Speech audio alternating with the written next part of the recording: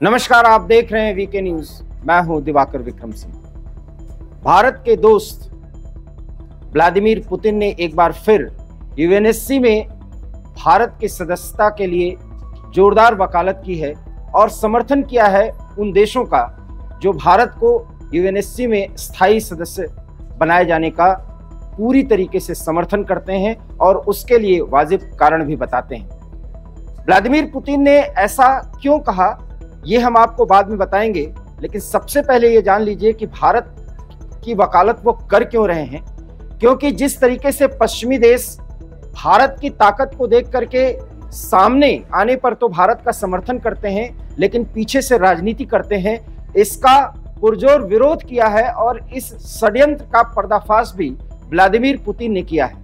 उन्होंने कहा है कि एक तरफ़ तो जब बात आती है सदस्यता की तो पश्चिम के कई देश भारत के साथ हाँ में हाँ मिलाते हैं, लेकिन पीछे से राजनीति करते हैं। ये पश्चिम पश्चिमी देशों का दो तरफा राजनीति करने का तरीका है और इसके ज़रिए वो एशिया के कई देशों को प्रभावित करते रहते हैं। यहाँ तक कि अरब देशों के खिलाफ एक माहौल बनाए जाने की कोशिश भी पश्चिमी देशों के षड्यंत्र के और उसकी मुहिम का एक बड़ा हिस्सा है।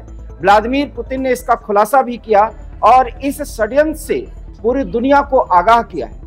व्लादिमीर पुतिन ने यह भी कहा कि यूएनएससी में भारत की सदस्यता इसलिए होनी चाहिए क्योंकि भारत एक ताकतवर देश है। 140 करोड़ से अधिक की जनसंख्या वाला देश है, जो विकासशील और विकसित देशों के बीच की एक बड़ी कड़ी है तथा दुनिया के तमाम शांति के संदर्भ में जितने भी मुद्दे होते हैं, उसको भारत हर एक मंच से और विशेष करके यूएनएससी में जब भी उसको मौका मिला है, तब वो इस मुद्दे को उठाता है और उसके समर्थन में खड़ा रहता है। व्लादिमीर पुतिन ने दूसरा कारण बताया कि भारत अपने निर्णय विदेश के संबंध में खुद लेता है।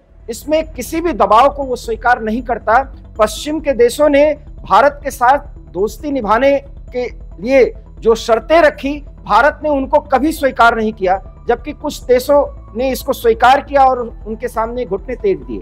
भारत की विदेश नीति स्वतंत्र है और प्रधानमंत्री मोदी के नेतृत्व में विकास की जो राह भारत ने अपनाई है और जिस राह पर आगे बढ़ रहा है, आने वाले समय में एक ताकतवर देश के रूप में भारत उभरेगा और इसमें प्रधानमंत्री नरेंद्र मोदी की नीतियाँ और उनकी दूरदर्श दूरदर्शिता माफ़ करिएगा, दूरदर्शिता बहुत काम आएगी। ये व्लादिमीर पुतिन ने कहा है। अपने दोस्त की तारीफ़ में कसीते गढ़ने के साथ साथ व्लादिमीर पुतिन ने पश्चिमी देशों के उस षड्यंत्र का भी पर्दाफाश किया है, जिसके कारण पूरी दुनिया में अशांति की स्थिति पैदा हुई है। एक बार फिर व्लादिमीर पुतिन ने जी ट्वेंटी सम्मेलन में भारत की कोशिशों के बाद जो फाइंडिंग्स हुई हैं, जो प्राप्तियाँ हुई हैं जी ट्वेंटी के जो घोषणा पत्र हुए, आए, सार्वजनिक हुए हैं, उसको लेकर के भी बड़ा बयान फिर दिया है कि जी ट्वेंटी में भारत की कोशिशों के कारण बहुत बड़ी घोषणा हुई है। और पश्चिमी देशों की कई षड्यंत्रकारी नीतियों पर पूरी तरीके से लगाम कसा जा सका है, ये बात भी व्लादिमीर पुतिन ने कहा है। अब हम आपको बताएँगे कि एनएससी की जो सदस्यता है, वो भारत के लिए ज़रूरी क्यों है? व्लादिमीर पुतिन ने अगर कहा है तो इसके मायने क्या है? सबसे बड़ी बात कि आप जानते हैं कि संयुक्त राष्ट्र सुरक्षा परिषद, ये गठन होने के बाद से पाँच स्थायी सदस्य हैं। जिसमें हमारा पड़ोसी और फ़िलहाल दुश्मनी निभा रहा चीन भी शामिल है। चीन के इस मुहिम में हमेशा जब भी पाकिस्तान की आतंकी गतिविधियाँ होती हैं किसी आतंकी पर ग्लोबल टेररिस्ट का एक ठप्पा लगाकर उस पर बैन लगाने की कोशिश कर, किया जाता है तो चीन उस पर वीटो लगाता है।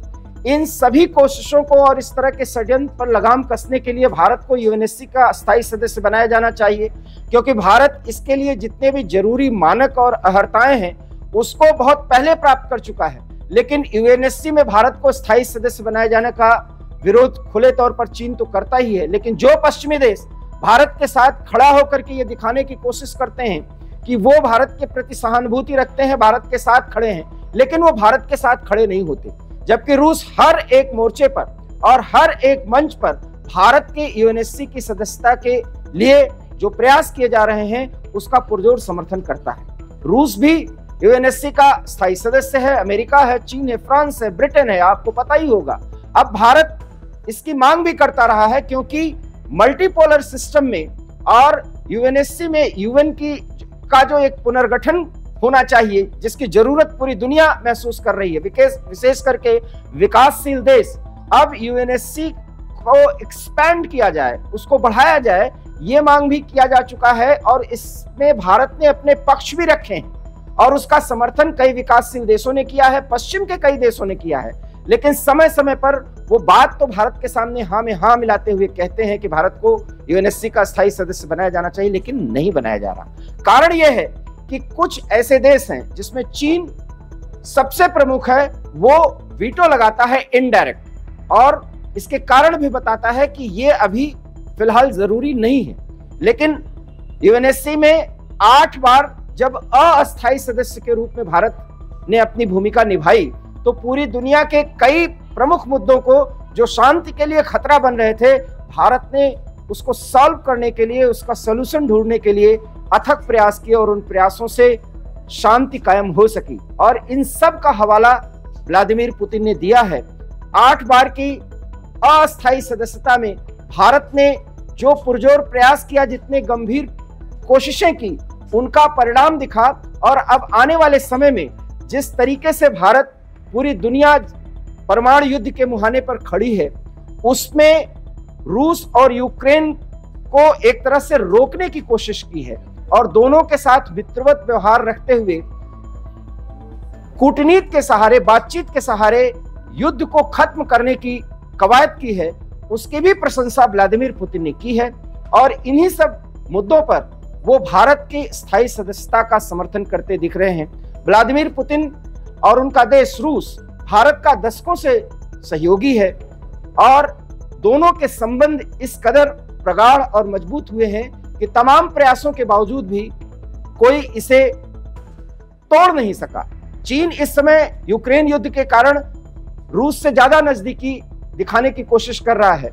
लेकिन जब भारत की बात आती है, हमने कई बार इस बात का ज़िक्र किया है, तब चीन जो प्रयास भारत को दूर करने की कोशिश करता है, जब रूस और चीन और भारत के संबंधों की बात होती है तो रूस दो टूक कह देता है कि भारत उसका स्थायी और परमानेंट मित्र है और रणनीतिक सहयोगी भी है, क्योंकि रक्षा से लेकर के स्पेस टेक्नोलॉजी में भारत और रूस एक साथ मिलकर के काम करते हैं और कोई भी मिशन आगे बढ़ाने के लिए उत्पादन से लेकर के उसको ज़मीन पर उतारने तक साथ साथ टेक्नोलॉजी के स्तर पर एक दूसरे से आदान प्रदान करने की स्थिति भी बनाते हैं। तो कुल मिलाकर के स्थायी सदस्यता की पुरजोर वकालत की है और जब ये बात चीन ने कही है तो रूस, माफ़ करिएगा, रूस ने कही है और पुतिन ने अपना पूरा दृष्टिकोण प्रस्तुत किया है तो ये चीन को अच्छी नहीं लगी। हालाँकि चीन की कोई आधिकारिक प्रतिक्रिया नहीं आई है, लेकिन अब चीन ये सोच रहा है कि वो करे क्या,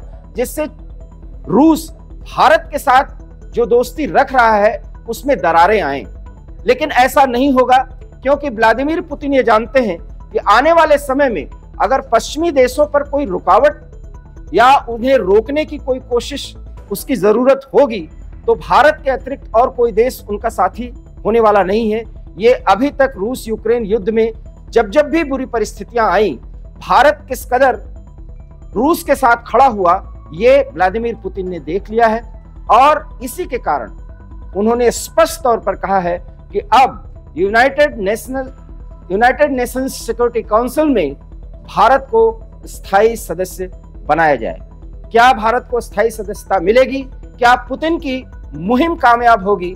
आप इस पर अपनी प्रतिक्रिया ज़रूर दीजिए। फ़िलहाल मुझे दीजिए इजाज़त। देखते रहिए वीके न्यूज़ क्योंकि यहाँ खबरों का सिलसिला कभी नहीं थमता। नमस्कार। वीके न्यूज़ राष्ट्र के नाम।